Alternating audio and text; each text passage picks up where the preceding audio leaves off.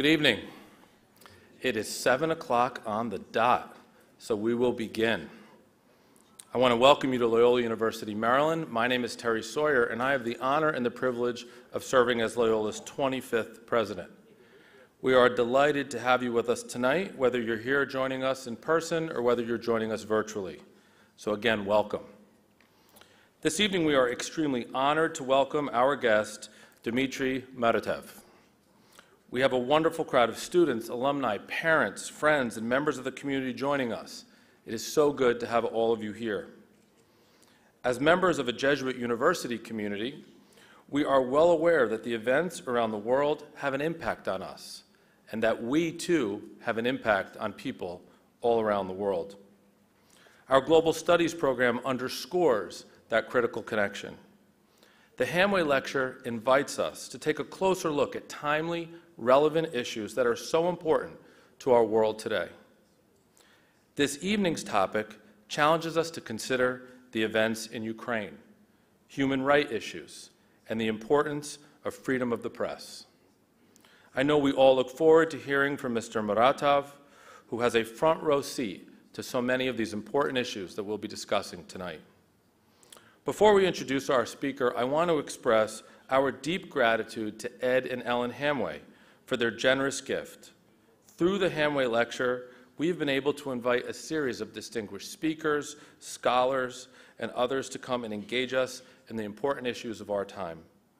On behalf of all of our students and faculty and each of us here tonight, I want to thank Ed and Ellen for their investment, not just in this lecture, but in the Global Studies program at Loyola.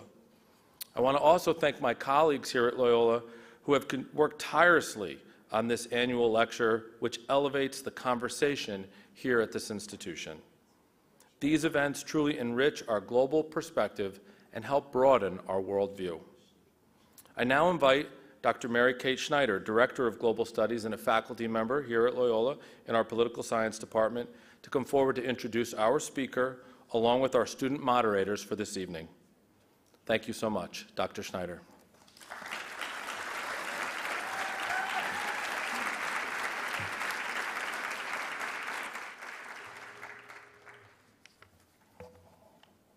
Thank you, President Sawyer.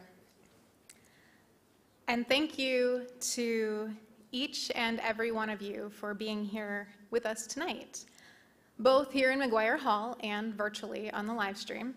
Uh, the last time I checked, I think we were at around 600 people, which is really fantastic. So thank you very much. Uh, the Hanway Lecture in Global Studies is an event that we look forward to every year not least because it allows us to take part in campus and community-wide conversations about critical and timely global issues. This evening, our speaker will help us to better understand the vital role of information in the defense of democracy and human rights worldwide. Journalists around the world work tirelessly to gather and disseminate information. Their work is particularly important when it comes to shedding light on things like the plight of marginalized peoples, abuses of human rights, and the misdeeds of corrupt regimes.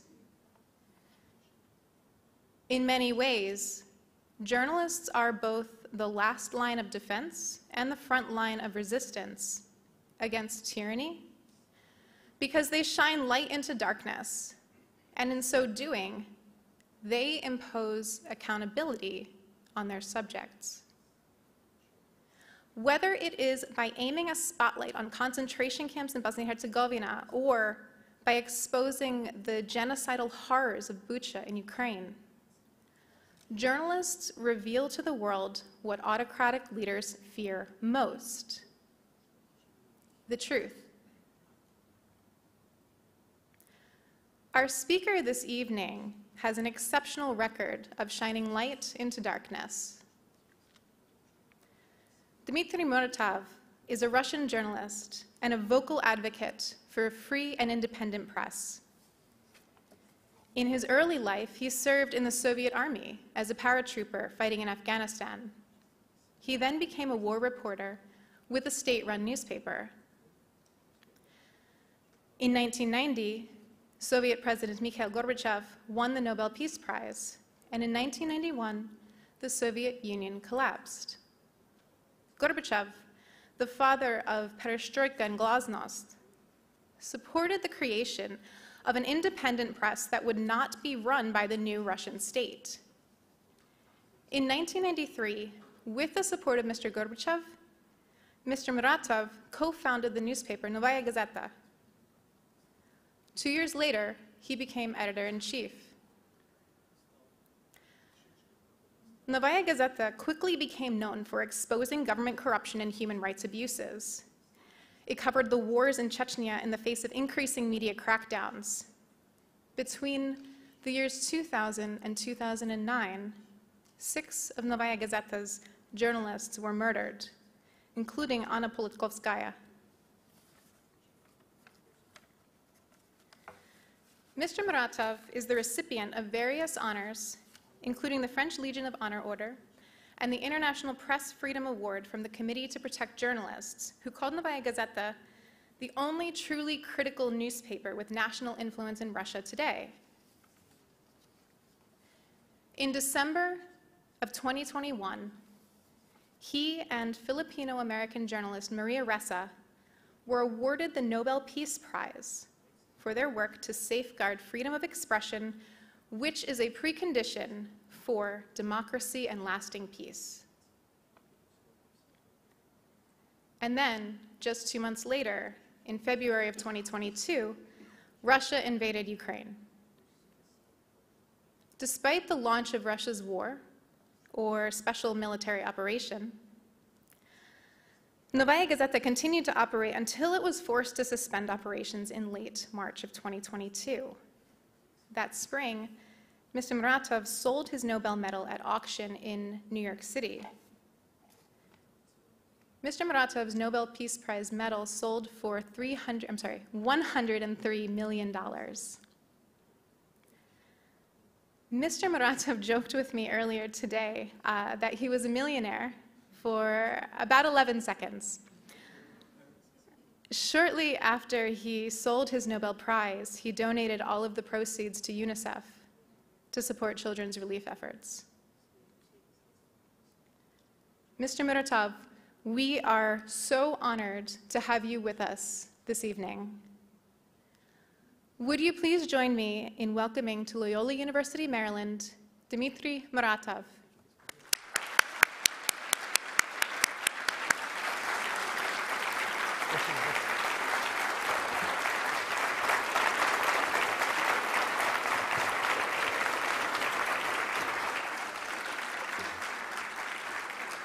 Thank you very much. Слышно? Do you hear me? Слышно? Слышно? Слышно. Everybody hears me. В Афганистане я был журналистом, а не воевал. Все остальное правда. I was a journalist in Afghanistan. I did not go to war. Uh, everything else is true.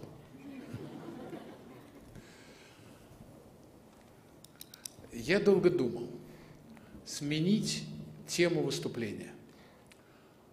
I thought for a long time to change the topic of my speech До последней минуты. until the very last moment. Потому что, ну, можно говорить просто о свободе слова. You can discuss the freedom of speech. Скажу вам, что э, в России закрыто более 200 независимых медиа, But I can tell you in Russia, more than 200 independent media right now are closed. почти 700 человек объявлены иностранными агентами, ну, можно сказать, что врагами народа. Almost 700 people declared to be foreign agents, which is equal to enemy of the people. Свыше 20 тысяч человек были наказаны за участие в антивоенных митингах. Over 20,000 people were punished for were punished for participating in anti-war meetings. Пропаганда стала монополией. The propaganda turned into monopoly. И при этом я тут с собой привез книгу, не знал, вот меня с ней пустят или нет. I brought this book with me. I didn't I didn't know if they would let me in with this or not. Открою на 11 странице, сейчас вам прочитаю. I I'm going to open it on page 11 and read it to you. Господин президент, вы должны угадать, что за книгу я сейчас прочитаю вам. Mr. President, why don't you take a guess of what is that book I'm about to read? В России гарантируется свобода мысли и слова. Russia guarantees the freedom of thought and speech. Цензура запрещается. The censorship is forbidden. Не допускается пропаганда войны, The propaganda of war is not permitted. Пропаганда национальной религиозной ненависти, The propaganda of uh, national, ethnic, and religious hatred is forbidden. Вот я читаю, прям боюсь читать дальше, I'm, I'm afraid to keep reading. Еще одну вещь все-таки прочитаю, One- one more решусь thing. на это.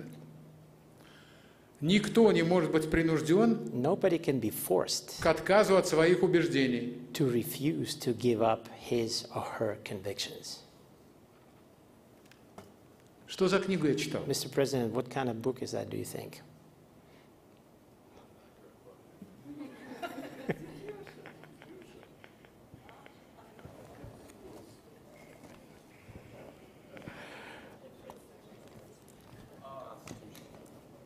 Страшно представить, It's, it's awful to even imagine. как закрыты все медиа, As политики в тюрьмах, all the media closed, politicians, po- um, po- political prisoners are in jails. Я тоже признан иностранным агентом, господин президент. Mr. President, I am also one of the ones who had been declared to be a foreign agent. Я не получал никаких иностранных денег, и With, в объяснении, почему меня признали иностранным агентом, написано. with that, I was not receiving any funds from overseas, and I even had to write an explanation why is it that I'm not receiving any funds from overseas. Там гениально написано. Там написано за то, что я выражал негативную оценку внетри- в- внешней и внутренней политики. Why they chose it? Why did they declare declared me to be like to be a foreign agent? Because I expressed negative thoughts about internal and external policy. Я, скажите, я правильно понимаю, господин президент, что меня признали врагом народа, иностранным агентом за то, что я выполняю Конституцию? Mr. President, do you think it's fair to say that I was declared an enemy of the people because I am simply following the Constitution? Да. А теперь я должен сказать то, к чему я готовился. And now I am going to say what I was preparing to say. Я задаю себе вопрос, и вам тоже задаю вопрос. Как получилось, что I'm asking this question for myself and to you. How did it come out судьба всей планеты зависит сейчас от воли одно- одного человека? that the, the fate of the entire world relies solely on the will of one person? Этот человек крутит ядерную кнопку, как ключи от машины на This пальце. person is, is waving the nuclear button just like a bunch of keys on the finger. Только за короткое последнее время 220 раз российские государственные деятели и пропагандисты предупредили о том, что пора уничтожить Запад с помощью атомной бомбы. Only within the short period of time, Russian propagandists has, have made warnings about 220 times about that it's time to destroy the world with nuclear weapons. А Бывший президент Медведев, он сейчас возглавляет Совет Безопасности, один из руководителей, он говорит, The ex-president Medvedev, who is the head of the Security Council, says ядерные державы не проигрывают крупных конфликтов. Нынешняя обычная война провоцирует начало ядерной войны с нашей стороны. nuclear state, nuclear powers do not lose wars. This conventional wars provokes the nuclear war to start. Главный российский пропагандист на национальном канале говорит дословно следующее. The main propaganda person on the national TV, government sponsored TV, literally says the following Надо нанести удар по расположению центров принятия решений Украины. We need to attack the decision making centers in Ukraine. И спрашивают, а в чем проблема? And he, then he asks, what is the problem? Нельзя применять ядерное оружие? You can't use nuclear weapons? А зачем мы его разрабатывали? Why did we design it in the first place? Ну ладно, это пропагандисты. That, that's okay. These are propaganda people. Вот еще одну процитирую, не могу удержаться. I'm to read another quote, make another quote. Руководитель канала РТ, это главный пропагандистский внешнеполитический канал России, The chairperson of the RT television, uh, the main propaganda television network in Russia, Маргарита Симонян, да, она Маргарита. предложила Margarita Simonyan, взорвать в Сибири, в российской Сибири термоядерную бомбу, чтобы Запад испугался. suggested that they should test a nuclear device, blow a nuclear bomb in Siberia to scare the West. Она сказала, что она дура, наверное, что это предлагает, но Симонян, я знаю, она не дура. Она хорошо слышит, о чем говорят в Кремле. She said she might be a fool to have said something like that, but I know she is not a fool. She knows full well what they talk about in the Kremlin. А вот пишут крупные ученые, But here's what big scientists аналитики Кремля, готовят доклад для Кремля. Kremlin's ana- Профессор Караганов, analytics, uh, uh, analy- uh, an- analytics get uh, the report for the Kremlin. One of them is Professor Karaganov. если у кого-то стоят кардиостимуляторы, можете уйти из зала. If somebody has a pacemaker here, you can leave right now. Применение ядерного оружия, пишет профессор Караганов, на главном информационном ресурсе России, агентстве РИА «Россия сегодня». He writes the use of nuclear weapons, and this is what he ba- basically writes in the main information, informational platform Russia Today. Он пишет, применение ядерного оружия убережет человечество от глобальной катастрофы. Using of nuclear weapons will save the world from global catastrophe. Нам надо снизить порог применения ядерного оружия. We need to lower the threshold of using nuclear weapons. Ему вторят. Одна ракета и нет Лос-Анджелеса. And this phrase is being echoed by others one rocket, no Los Angeles. Руководитель атомного института, близкий к Путину, лично близкий к Путину, человек Ковальчук, The leader, the, the chairman of Atomic Institute, Research Institute, uh, close friend of Mr. Putin, Mr. Kovalchuk, поддерживает, поддерживает, он говорит, нанести превентивный, превентивный ядерный удар по Европе – это правильная мысль. he supports that. He said preventive uh, strike on Europe seems to be the right idea. Я когда писал это выступление, тут у меня написано, скорее всего, Россия продолжит ядерные испытания и выйдет из соглашения о запрете на ядерные испытания. Пока When я I- сюда летел, Россия вышла из этого договора. When I was writing this speech, I was thinking so Russia may very well exit the nuclear test treaty. When I was on my way here on the plane, Russia did s- exit the treaty. Но надо признать, Соединенные Штаты тоже вышли из этого договора, Well, we need to acknowledge that U.S. also exited the treaty, и из договора о стратегических наступательных вооружениях тоже. as well as the treaty of strategic offensive weapons. Мы стоим на пороге катастрофы. We are on the verge of catastrophe. Вы хотели, чтобы я говорил о правах человека? Так вот я вам скажу. Смерть и есть главное нарушение права, прав человека. You wanted me to talk about human rights? Well, I gotta tell you, death is the main violation of human rights. А ядерная война – нарушение прав человечества в целом на жизнь. And the nuclear war is violation of human rights of the entire humanity and its right to live. Скажите, мы понимаем, что делает пропаганда? Tell me, do you understand what propaganda is doing? Когда каждый день пропаганда говорит о том, что ядерный удар – это нормально, она готовит к этому народ. When the propaganda keeps telling people every day that a nuclear strike is a normal thing, it is mentally preparing people for that. Пропаганда – это новый закон мой. Propaganda is the new law. Пропаганда иногда обязана выполнять свои обещания. Propaganda sometimes has to follow through with its promises. Вообще-то мы имеем дело уже с менеджментом ядерного апокалипсиса.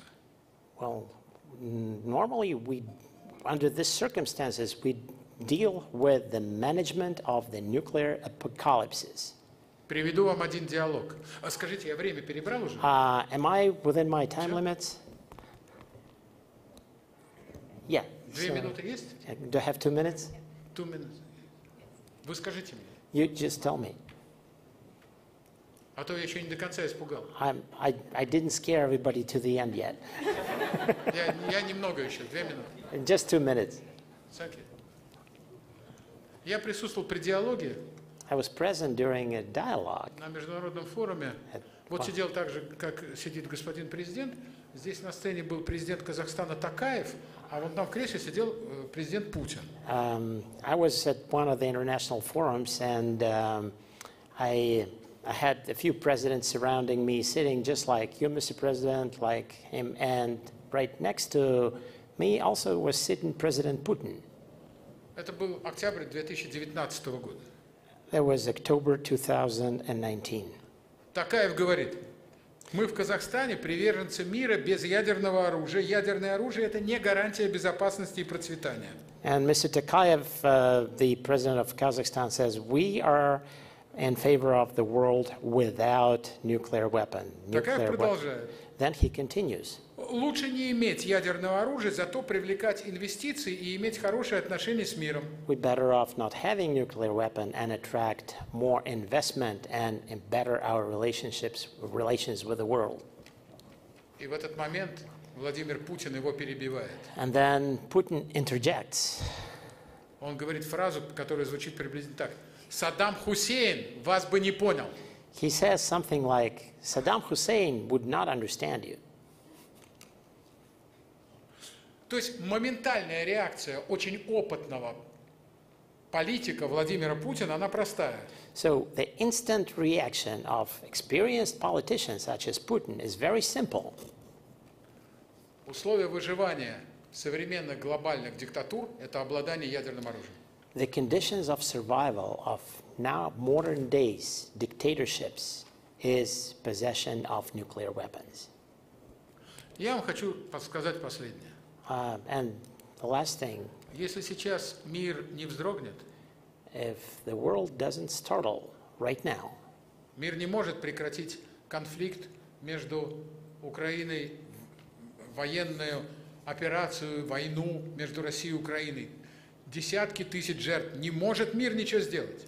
if the world cannot stop the, the war between Russia and Ukraine involves thousands of people dying. Но если мир сейчас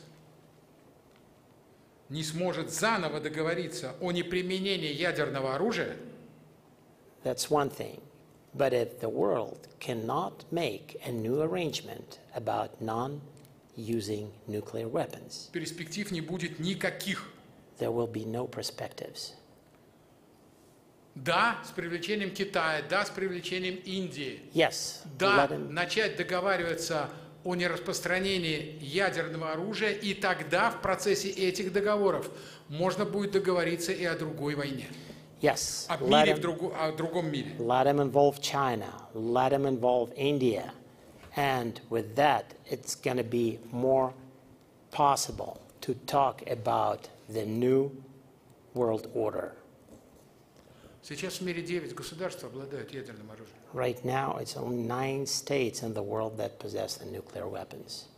А когда все выйдут из договора о нераспространении ядерного оружия и о продолжении испытаний, этих государств будет 15 или 20 по прогнозам американских Ученых и европейских ученых. And by the time everybody exits the non-proliferation and non-testing treaty, there will be 15 or 20 states.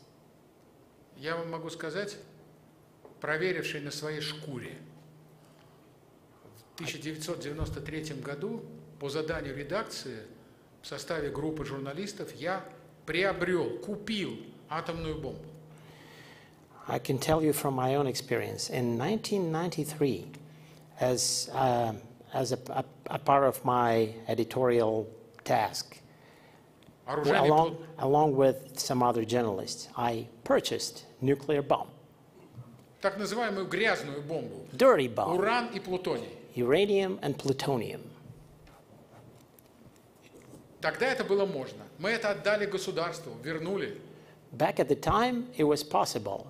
Back at the time, we turned it to the state, returned it. Но мы стоим на пороге того, что террористы смогут получить это оружие. But we are on the verge of the time when this can be really acquired by terrorists. Я искренне предупреждаю всех, And I sincerely warn everybody here если сейчас не возникнет большое мировое антивоенное движение, и если государство с помощью своих оппонентов Китая, Индии, других атомных держав не заставит всех нас прекратить ядерную гонку, if there is no if, if, if, there, if there isn't any powerful international movement that can appear right now and involve China, other states, um, to, s- and make them stop the nuclear race, то мы, я не скажу, я then не скажу, что может we- произойти. I'm not going to tell you what's going to happen. А, спасибо, Thank you. спасибо, извините, что Um,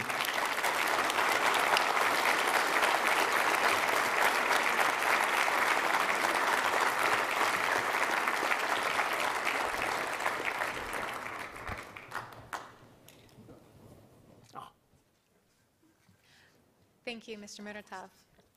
Uh, I'd like to invite our student moderators, Jamil Hernandez and Annabella, Annabella Ritter Pleites, to please join us on stage uh, for a moderated discussion with Mr. Muratov.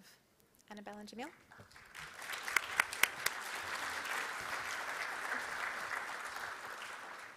Once again, we would like to welcome everyone to Loyola's 2023 Hanway Lecture and to thank you for joining us tonight. This year's lecture is focused on propaganda, freedom of the press, democracy, resistance, and the ongoing conflict in Russia. To start us off, being a journalist in any non democracy is, is extremely dangerous. First, could you please share any experience you have as a journalist and being attacked? And second, could you explain how you operate in spite of these dangers, both logistically and mentally? Опасна, как в логистическом, так и в душевном плане. да, Yes. я вам покажу. Я вам сейчас покажу, насколько опасна эта профессия. Я привез вам одну фотографию. Yeah, I brought one, I brought one picture. 4 июля на нашу журналистку, журналистку «Новой газеты» Елену Милашину напали в Чечне. On July 4th, our journalists, our journalist Yelena Milashina was attacked in Chechnya. Она вела расследование о нарушении прав человека. She was investigating the human rights violations there. Вот эту фотографию видели очень многие. This picture was seen by many. Ей ломали ладони, чтобы узнать пароль от телефона. They were breaking her fingers to find out the password for the phone. А вот эту фотографию видели немногие. And this picture hasn't been seen by many.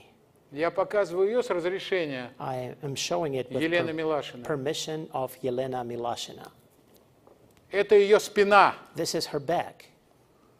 Смотрите, смотрите. Look, Свобода слова. Вид freedom of сзади. speech. View from the back. Это было 4 июля. It was. Uh, it happened on July 4th. Российские власти сказали о том, что обязательно найдут палачей. Russian authorities said that by all means they're gonna find the perpetrators. Ну, конечно, ведь вокруг аэропорта в Грозном отключили все видеокамеры. Of course, and it so magically happened that all the surveillance cameras around the Grozny airport were off. Кто это может сделать? Who could do something like that? Они знали, на каком самолете прилетят а, журналисты и адвокат. The, per- Значит, у них был доступ к базе данных пассажиров. the perpetrators knew what flight they're gonna come in. That means they, they had access to the database and the passenger's manifest, Доступ к видеокамерам и доступ к базам данных есть только у представителей государства. Access to surveillance cameras and to the databases is something that only government people can have. Прошел август, сентябрь, октябрь, прошло, значит, июль, август, сентябрь, октябрь. Три, скоро будет 4 месяца. Через 10 дней будет 4 месяца. Преступление, отгадайте, откры, раскрыто или нет? Soon, in 10 days, it'll be four months. Take a guess. Has the crime been solved or not?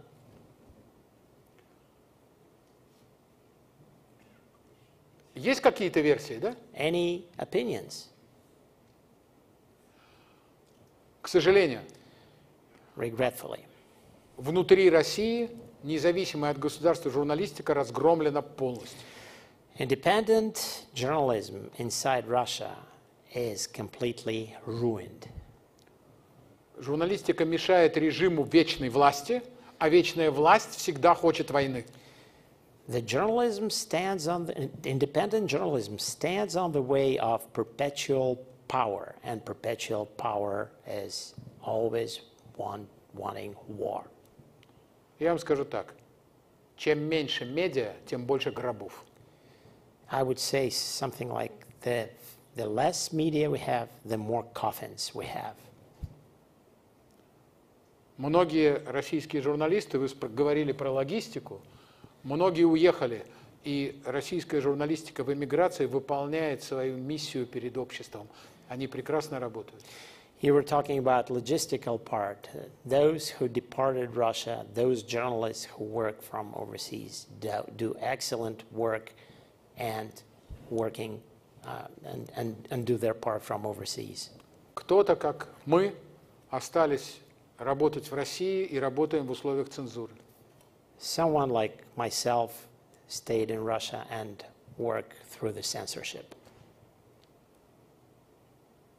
Это безумно сложная работа. It's an enormously complicated work.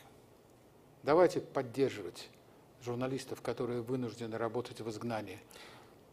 Посмотрите, как прекрасно это делают репортеры без границ. Можно изучать их опыт.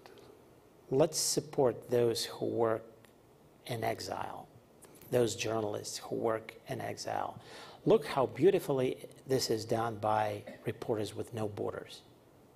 Я по-прежнему хочу, я об этом говорил в Осло при получении Нобелевской премии, я по-прежнему хочу одного. I was talking about this in Oslo when I was being awarded the uh, Nobel Peace Prize, and I said, I want one thing and only one thing. Эннабелл, Я хочу, чтобы журналисты умирали старыми. I wanted, I want that the journalists would pass on from the old age.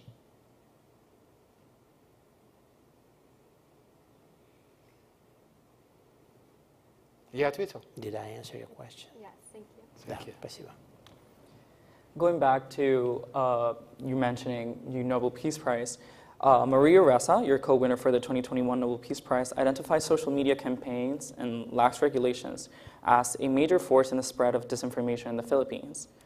How does social media factor, uh, factor in as a force against truth in Russia, and particularly as a factor in the ability of Novaya, Novaya Gazeta to function successfully?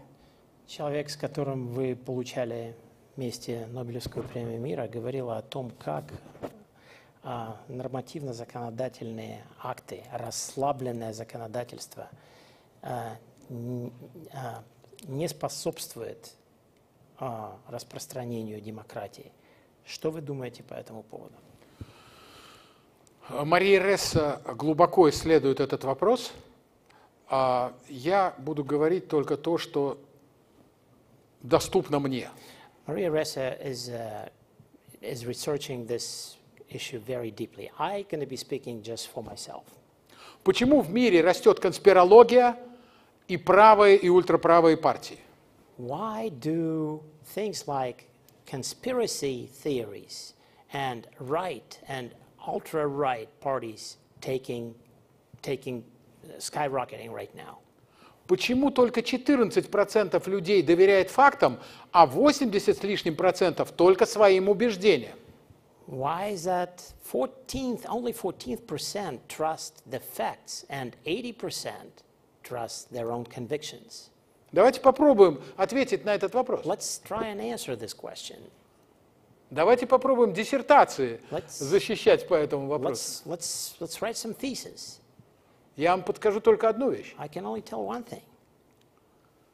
Рекомендации социальных сетей, по рекомендациям социальных сетей вам приходит только то, что укрепляет ваше убеждение. From the social networking, you can only receive what makes you even stronger in your own convictions. Если вы уверены, что Земля плоская, вам будут приходить все доказательства того, что она плоская. If you tend to think that the, the earth is flat, you will be receiving multiple statements saying just that thing, that the earth is flat. Убеждения и пристрастия становятся основой опыта человека, а не факты и другие аргументы. The convictions and addictions, not facts, not arguments, are becoming something that people tend to rely on. Социальные сети продавали нас, как продавали нас корпорациям и рекламодателям, Social networks would sell us to the corporations and advertisers. а обратно они нам продают наши заблуждения. And selling and they're selling back to us our aberrations. Мы живем в эпоху, когда, надеюсь, скоро появится интернет Web 3.0. We're living in the time where we're just about to start having Web 3.0, которым, польз- в котором пользователь будет гражданином, а не товаром. where the user will be a citizen, not a merchandise.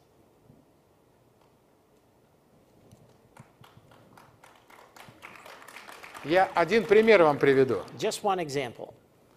Если вы в России покупаете э, смартфон на базе Android, Suppose you buy a Android smartphone in Russia on Android operating system. новый телефон, новый, Brand new phone from the box. внутри него установлен а, браузер Google. It does have a Google browser in it. В этом браузере Google уже стоит весь набор главных пропагандистских государственных ресурсов. That Google browser, by default, already has the set of main propaganda resources in Russia as you open it. Просто в новом телефоне. In the new phone. Это означает, что, видимо, компания для того, чтобы за собой оставить рынок, идет на то, чтобы сразу включить в свой товар пропаганду для пользователей.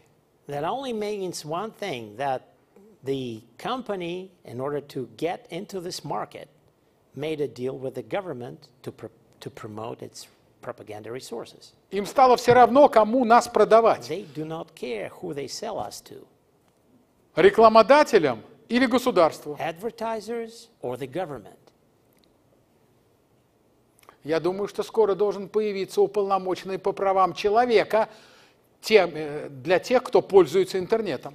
I think there should be pretty soon coming up a position of High Commissioner on Human Internet Rights. И последнее. And the last thing. Мы всегда думали, что государство влияет на нас посредством телевидения. We always thought that the state is affecting us through television, Что телевидение это у государства, а у нас, у свободных людей, есть интернет. that TV is something that the government has, but we, free people, have internet. Давайте попрощаемся с этой иллюзией. Let's say goodbye to this illusion. Диктаторские режимы освоили интернет лучше, чем свободное общество.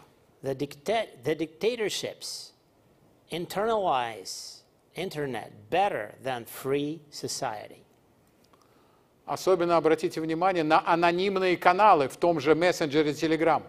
Анонимные каналы – это каналы, пропагандирующие войну, насилие, нападение на соседние страны. Look at the anonymous channels, for example, in, th- in, in platforms like Telegram. Those channels propagate war, violence, attacking neighboring countries. Есть критерии.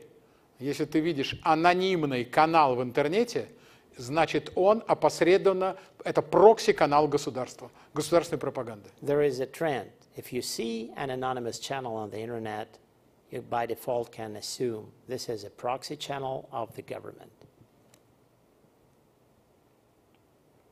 Увы, интернет больше не принадлежит свободному открытому обществу. Alas, the internet does not belong to the open, free society anymore. Going off of that, you mentioned in a recent documentary that some people can resist propaganda more easily than others. Would you mind going into depth of how propaganda affects certain demographics? Э, Недавно вы говорили о том, что пропаганда воспринимается одними совсем не так, как другими, в демографическом плане. Что вы можете сказать по этому поводу? Я могу сказать, что мы провели эксперимент. So here's what I can say. We conducted an experiment. А Мы провели опрос среди читателей новой газеты, кто из них поддерживает продолжение специальной военной операции, а кто из них за мирные переговоры. We conducted a um, questionnaire uh, in- among our readership as to who supports the special military operation, which is the war in Ukraine, and who is in favor of peaceful talks. 91% наших читателей – сторонники мирных переговоров. 91% of our readership is in favor of peaceful talks. Затем мы провели опрос среди всех людей с помощью социологических служб.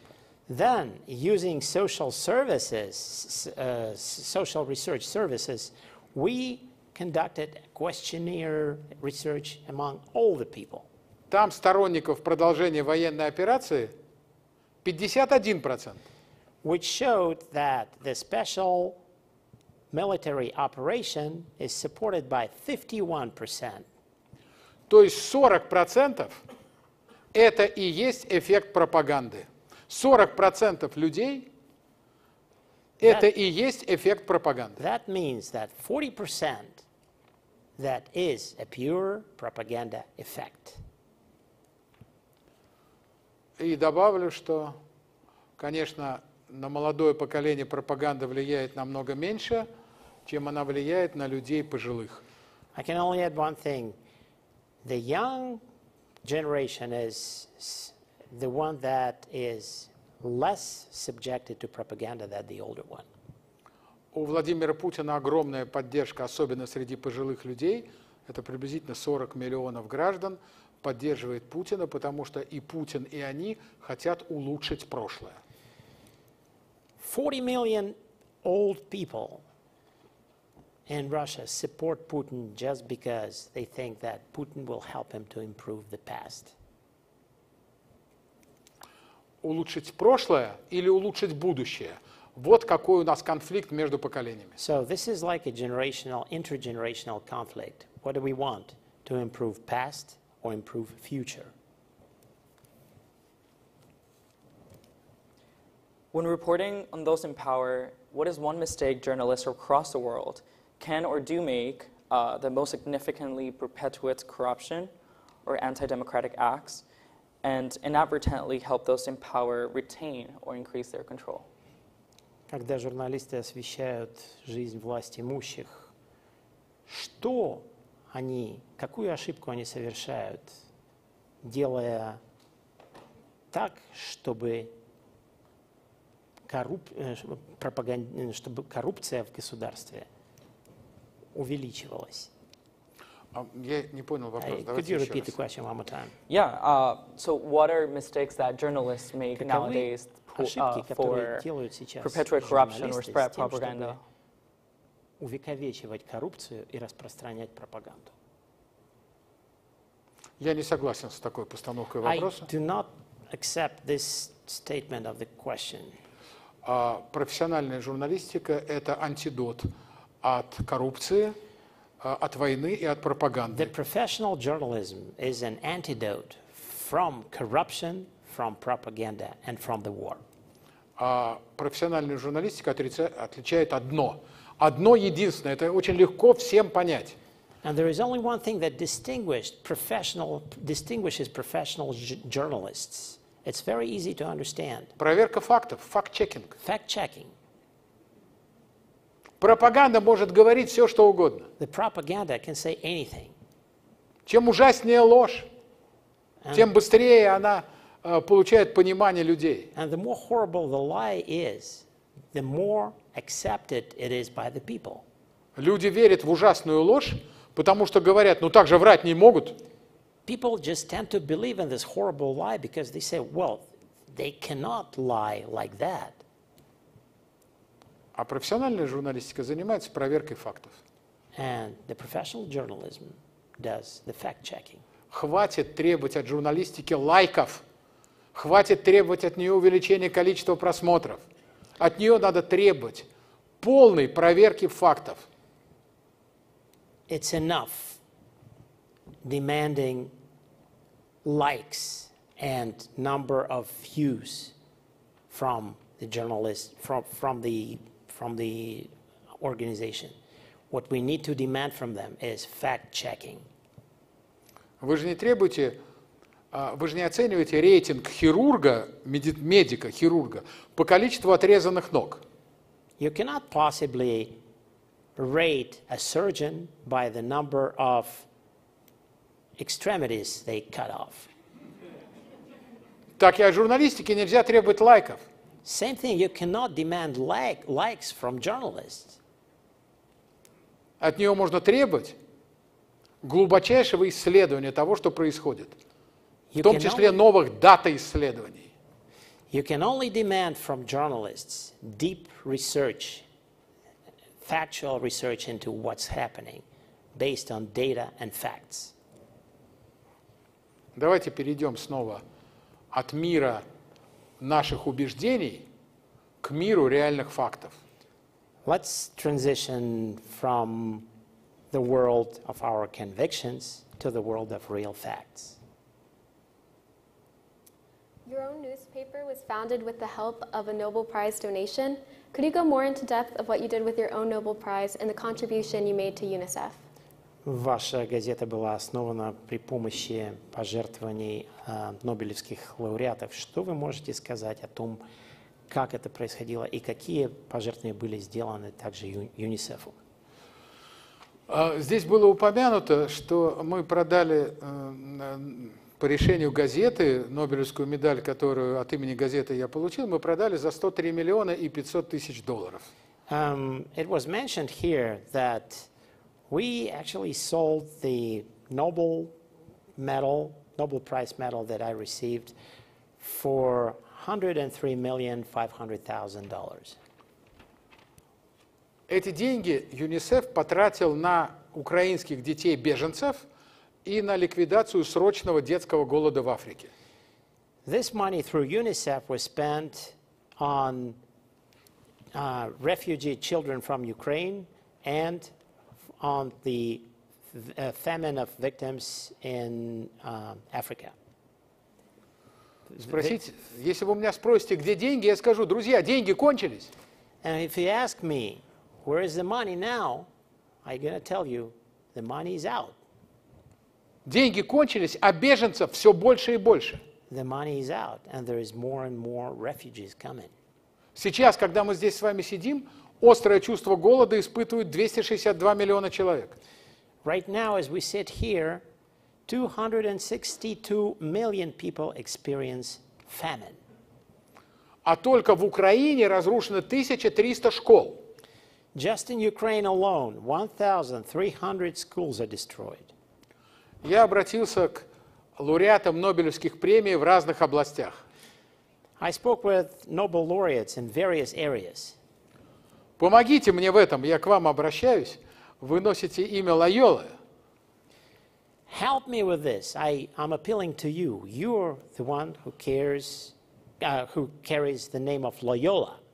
Я обратился и сказал, а давайте, господа, попросим у трех тысяч миллиардеров, живущих на планете, скинуться, чтобы помочь беженцам и голодным. I asked them, can you chip in? Let, let's, let's, address, let's appeal to 300, 3,000 millionaires to chip in for the sake of chil- hungry children. Ну, заплатите налог на чужое горе. Why don't you pay taxes on somebody else's trouble? Я думал, это письмо подпишут вместе со мной два, три, ну пять лауреатов Нобелевских премий. I thought this letter that I wrote with this appeal would sign two, three, maybe five Nobel laureates. В первый день его подписали 10 человек, я был очень рад. At the very first day, it was signed by 10 people. I was very happy.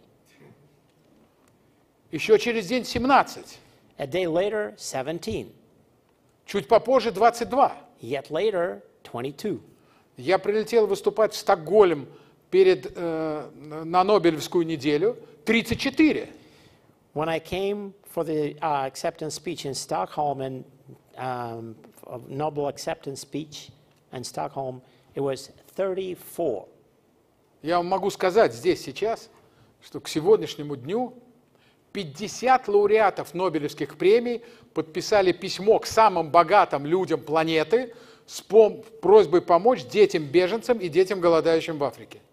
Right now, I could tell you that over 50 Nobel laureates signed the appeal letter to the wealthy people of the planet to, uh, to send money for uh, starving people of the planet and for Ukrainian children. 50 лауреатов Нобелевских премий. 50 Nobel laureates. Медики, физиологи, экономисты, uh, physiologists, doctors, economists, люди, которые создали вакцины, люди, которые открыли а, ДНК, новые особенности ДНК. those who created vaccines, those who created new properties of DNA, Гении человечества. the geniuses. Это социальная сеть Нобелевских лауреатов. This is a social network of Nobel laureates. Давайте поможем им с тем, чтобы мы снова собрали деньги для ЮНИСЕФ и снова смогли помочь беженцам и голодным. Let's help them so we can collect, get the money together for the UNICEF and help to the poor, refugees, and the hungry ones. Когда меня спрашивают, что мы можем сделать, я честно отвечаю, мы можем помогать тем, кому хуже, чем нам. When people ask me what can we do, I can I, I tell them we can only help to the ones who are in a worse position than we are them- ourselves. In her opening statement, Dr. Snyder mentioned journal- journalists reveal what autocratic leaders fears the most the truth. In your acceptance speech uh, in the 2021 Nobel Prize, you said the world is falling out of love with democracy. How can you say two years later, how would you respond to the conflict, the ongoing conflict in Russia and across the world, countries falling out of love with democracy? А, Выступая в 2021 году, вы сказали, что мир разлюбил и раз- разлюбливает демократию. Что вы можете сказать об этом сейчас по, эт- по поводу той же самой фразы? Мир разлюбляет демократию. Я думаю, что мы присутствуем при главном глобальном мировом конфликте. I think we are present, we, we, are, we are facing a major global conflict. Мы присутствуем при попытке установить новый мировой порядок. We're being present, we are facing an attempt of somebody to establish a new, establish a new world order.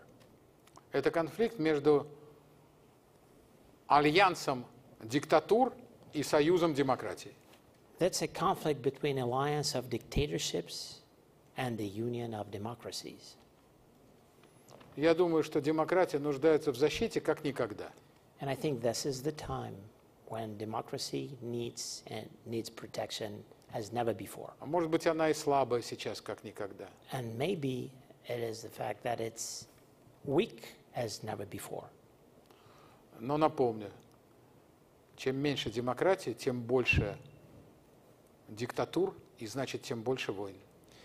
But I'll remind you, the fewer democracies we have, the more dictatorships and therefore wars we're going Это to закон. have. That's the simple law. Well, that И was our last. Горбачев. And Gorbachev. Oh, yes. Да-да-да. Um, you mentioned uh, in your talk about how the nuclear weapon threat is increasing and just becoming more scarier day after day. How do you think that uh, Mr. Gorbachev would respond to that now? Вы в своих выступлениях говорите о том, как, насколько растет ядерная угроза, насколько она растет сейчас, день ото дня. Как вы думаете, если бы Горбачев был жив сейчас, как бы он отреагировал на это? Как вы поняли, это был единственный вопрос, который мы заранее согласовали. that was the only question we preliminary discussed. Все остальное было по-настоящему. Everything else was off the cuff. Горбачев был акционером «Новой газеты». The Gor- Gorbachev had happened to be a shareholder of the Novaya Gazeta. Он был моим очень близким другом. He was my very close friend. И я привез вам, господин президент, для вашего прекрасного университета подарок. And I brought a gift, uh, Mr. President, for you and for your beautiful university. Однажды мы с Михаилом Горбачевым сидели и ну, готовились выпить водки. Once we sat down with Mr. Gorbachev and got ready to have some vodka. Мы налили по первой рюмке, и он сказал, подождите, Wow. сначала моя речь в ООН. We poured the first shot, and then he said, Hold on. First of all, my UN speech. Господин ректор, вы меня понимаете. Я говорю, Михаил Сергеевич, давайте сначала выпьем, потом речь в ООН. Mr. President, you probably understand me. I said, Mikhail Sergeyevich, let's do the shot, and then United Nations. Нет, он достал вот такую пачку бумаг, положил на стол. He put a stack of papers, put them on the table.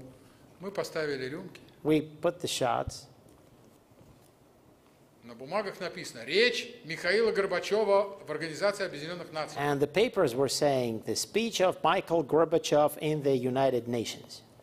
Перевернул страницу He flipped the page там на- и прочитал нам and read to us «Запретить войну».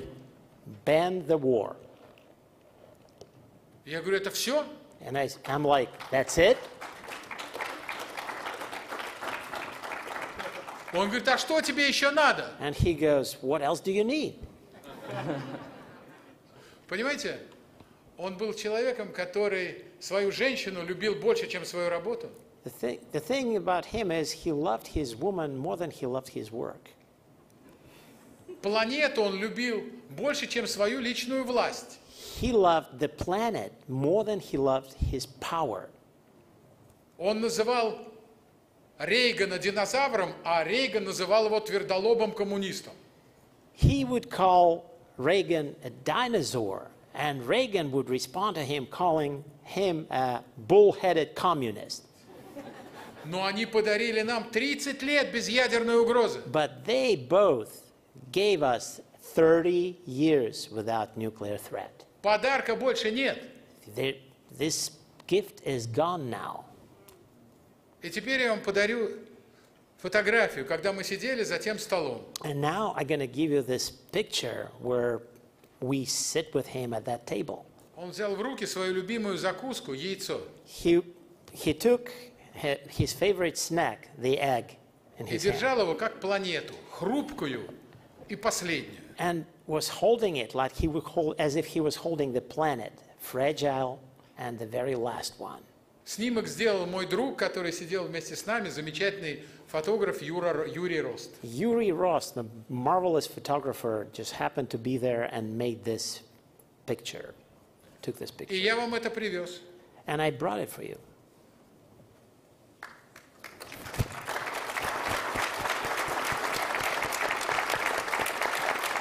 Я отдам сейчас, сейчас отдам. I, I'm going to give it to you. Вот, Юрий Рост. И Горби держит.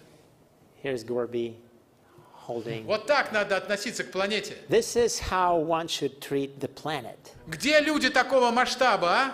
Where do we have people of this magnitude? Одна надежда на университет Лойолы. The only hope is for Loyola University.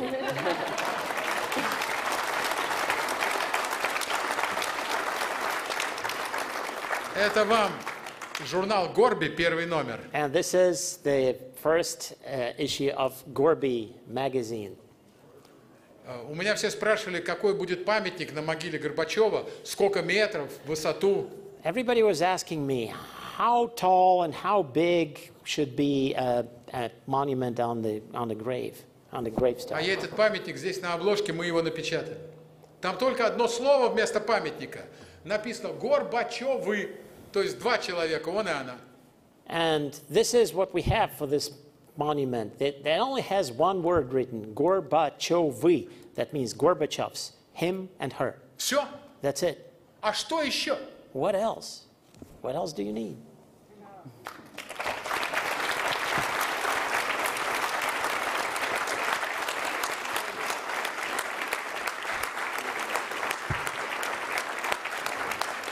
Спасибо.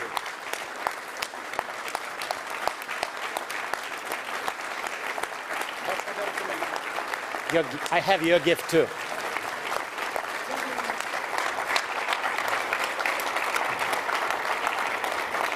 Это Стив. Annabelle.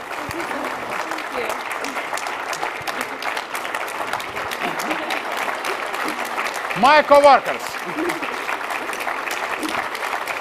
Thank you very much.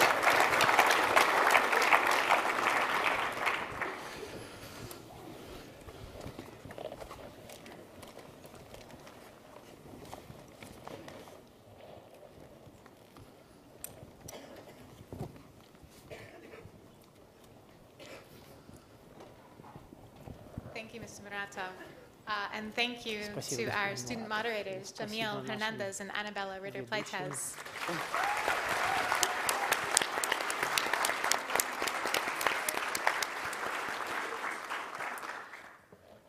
We do have a few more minutes to take some questions from the audience. If we have maybe one or two audience questions, audience members who'd like to come to the microphone and ask a question to our incredible speaker this evening. microphones are walking down the aisle. Please just stand up and walk to the microphone. The question is, uh, Please, thank you. it's related to all the work going on today. Uh, what's your opinion about uh, collective responsibility for the actions of, your, of government? Basically, what it's uh, uh? Oh, in my in my case, co- collective responsibility of Russian people for what's, what what is done on on their behalf in Ukraine. Do they bear any responsibility or none? Я могу отвечать или подождут? Под- Can I, can I answer right now? Это очень важный вопрос. It's a very important question. Знаете, а, но на самом на него, э, на этот вопрос человечество дало ответ. But this has been answered by the humanity already. Есть военные преступления, There's such thing as war crimes. есть те, кто развязывает войны. There are people who unleash wars. Но Женевскими соглашениями 1949 года коллективной вины и коллективного наказания нет. But through Geneva Agreement of 1949, there is no collective guilt and no collective punishment.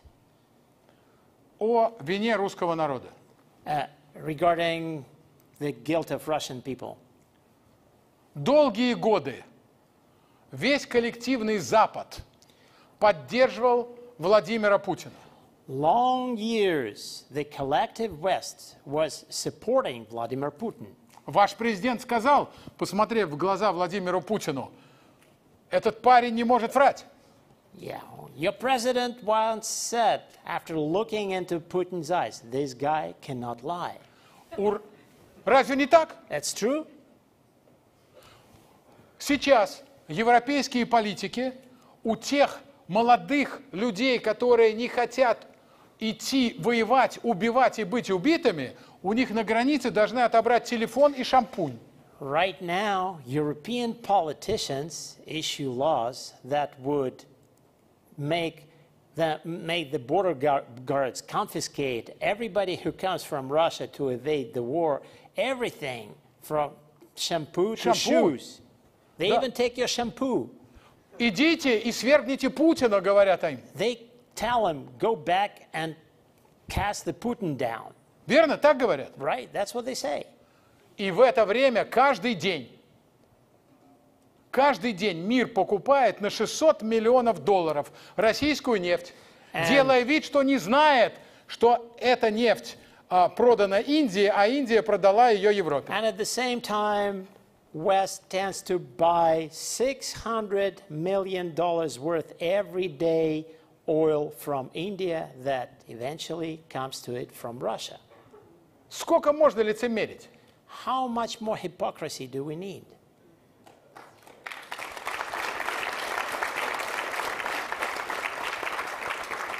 Thank you. Let's see from the side of the room, please. Так. Would you ever consider returning to Russia? Вы собираетесь возвращаться в Россию? После сегодняшнего вечера? After tonight? Да. Yes.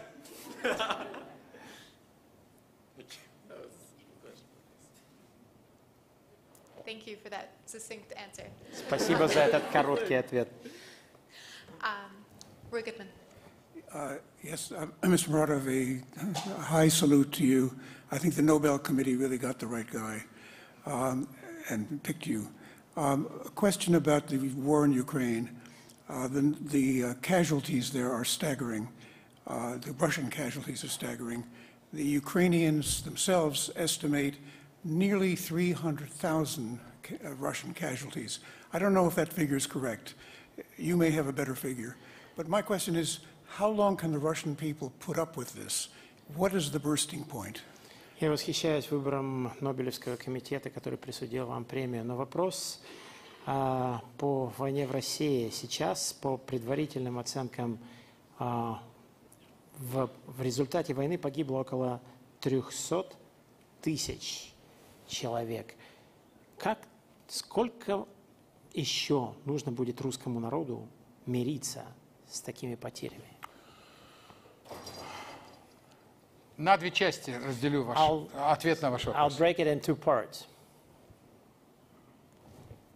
К сожалению, данные о потерях официальные, засекречены и с украинской, и с российской стороны. Regretfully, the data about casualties are classified from both Russian and Ukrainian part. Мы не можем назвать ту цифру, которую назвали вы. We cannot name the number that, or confirm the number that you named. Журналисты каждый день по открытым источникам пытаются установить количество жертв. Journalists are trying to establish the true number of casualties based on open source information. Но одну цифру я вам смогу сейчас назвать. But I can name you one number.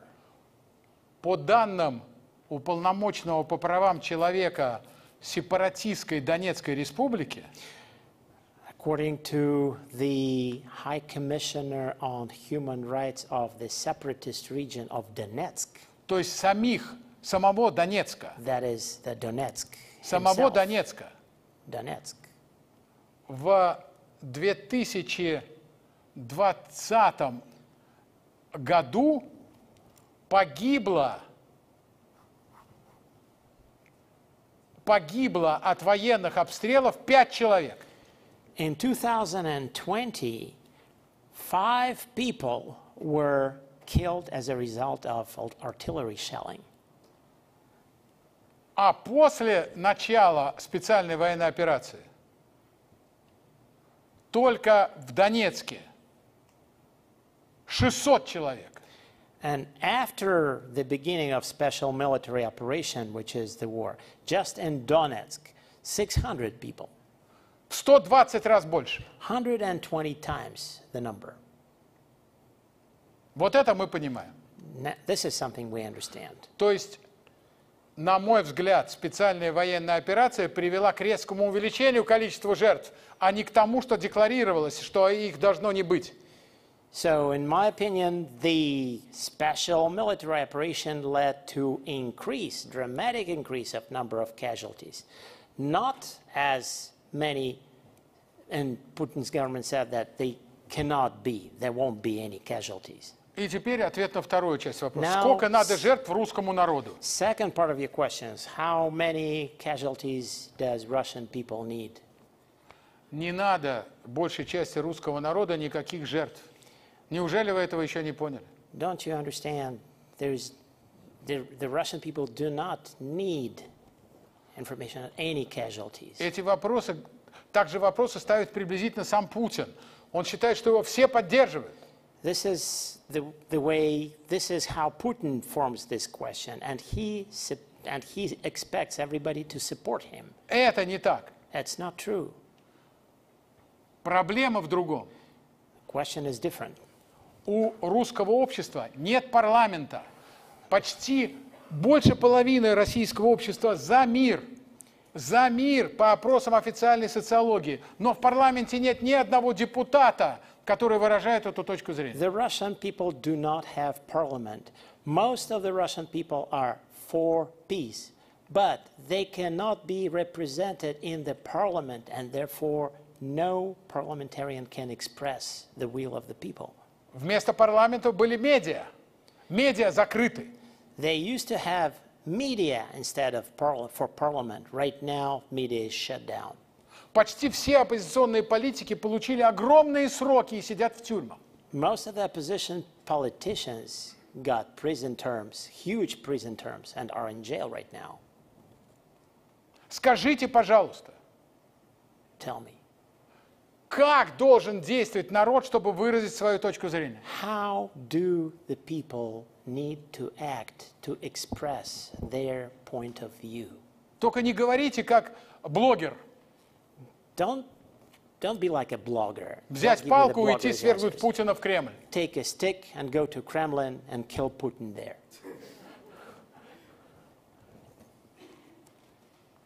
Извините, очень сложный вопрос. It's, it's a complicated question. Чтобы так отвечать на него просто. I cannot give you a simple В этом вопросе трагедия двух народов. There В первую a- очередь, конечно, украинского.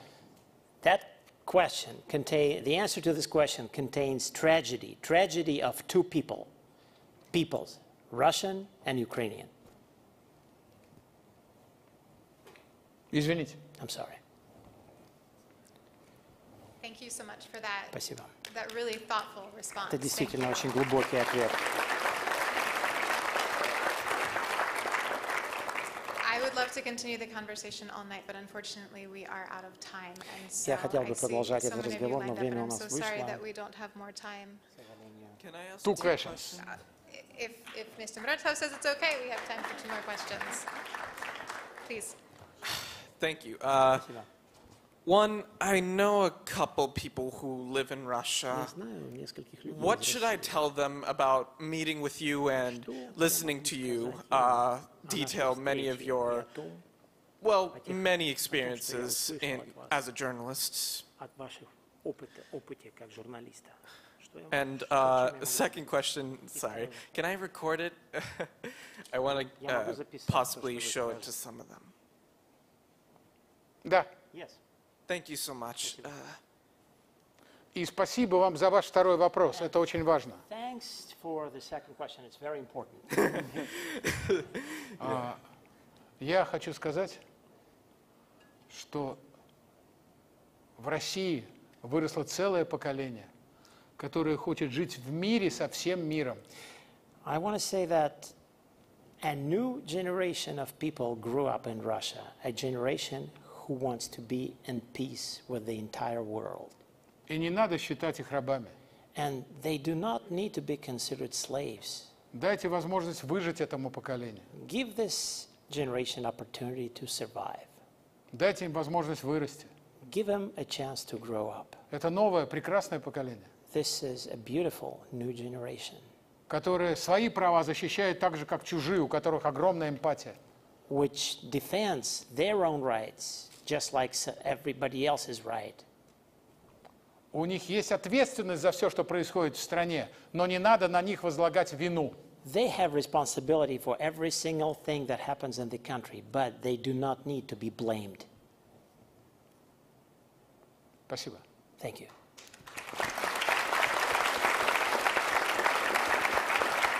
And our very last question. Еще Jessica, один вопрос. Can, can you hear me? could you speak, get a little closer?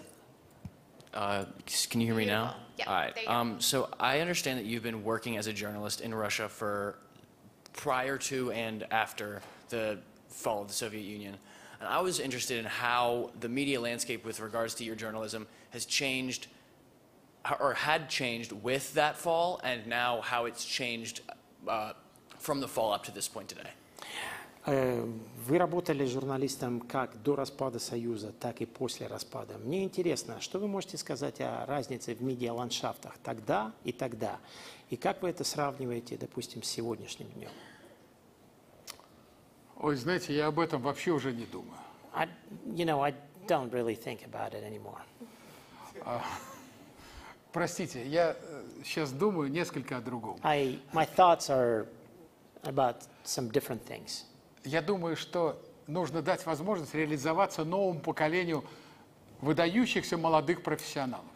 I think we need to occupy ourselves with giving an opportunity to a new generation of young professional to show themselves show которые работают и на фронте, и возле компьютера, These people work on the front and near the computer. которые умеют изучать большие данные They know how to research data и которые с огромным состраданием относятся к людям. and they treat people with huge compassion. Но что-то общее в той эпохе и в нашей эпохе есть. But there is something in common between that era and this era. А русская журналистика, как и русская литература, традиционно пытается быть не наблюдателем, а участником событий. Russian journalism, just like literature, is trying to be not an observer of the events, but a participant.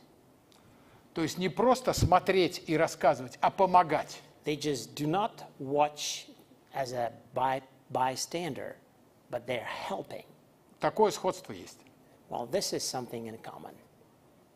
Спасибо. Thank you.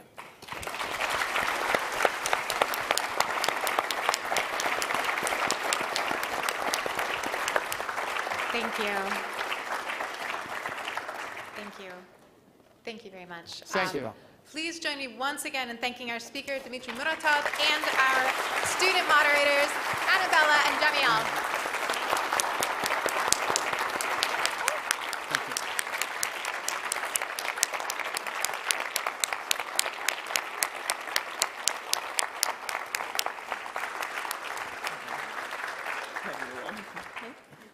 Muratov, the work that you do and your incredible work that you've done to shine light into darkness.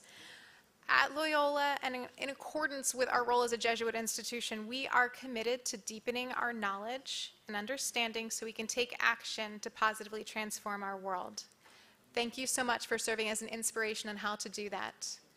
Thank you, spasibo. Have a wonderful evening.